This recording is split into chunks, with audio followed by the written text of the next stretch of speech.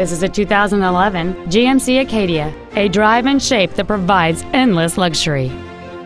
It features a 3.6-liter six-cylinder engine and an automatic transmission. Its top features include dual power seats, heater vents for rear-seated passengers, a power rear liftgate, a CD player which can read MP3s, a leather-wrapped steering wheel, aluminum wheels, a rear spoiler, a low tire pressure indicator, cruise control, and an anti-theft protection system.